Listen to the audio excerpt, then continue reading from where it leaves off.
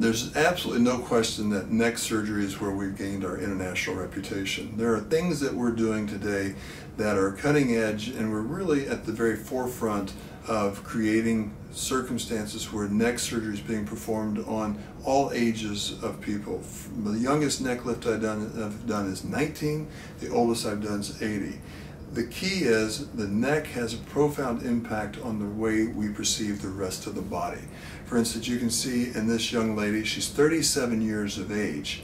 When you look at her, you get this sense that she's overweight, she's out of shape, but the reality is she was born with a full neck. When you see her before versus the after, it has a profound impact on her entire face, and there's been no other change except her neck.